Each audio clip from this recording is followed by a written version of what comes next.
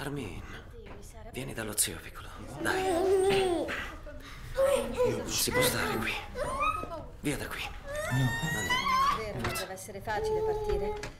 Anche se si trattasse di soli sei mesi, sarebbe dura lasciare tutti gli amici e parenti qui.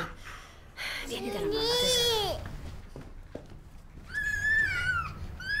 A volte penso che se dovessi andare a fare un viaggio, anche di tre sole settimane, impazzirei.